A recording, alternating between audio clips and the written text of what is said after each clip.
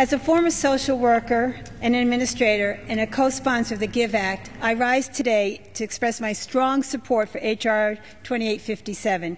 I was able to see the firsthand hard work that, and self-sacrifice and dedication of our AmeriCorps volunteers during the Katrina recovery effort.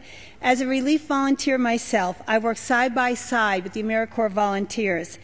You can't say enough about these young people who gave of themselves and worked tirelessly for many, many hours to give comfort to their fellow Americans.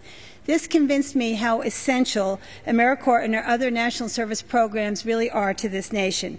My experiences as a social worker and as an administrator and relief volunteer have made the reauthorization of this program a high priority for me, and I'm proud that it's a high priority for this Congress as well. I'm also grateful that the committee passed my amendment to increase the minimum amount of the state formula grants. This increase acknowledges that these volunteer programs are equally important in smaller states such as New Hampshire. These programs and the participants who are in them work miracles for very little money, and we need to thank them.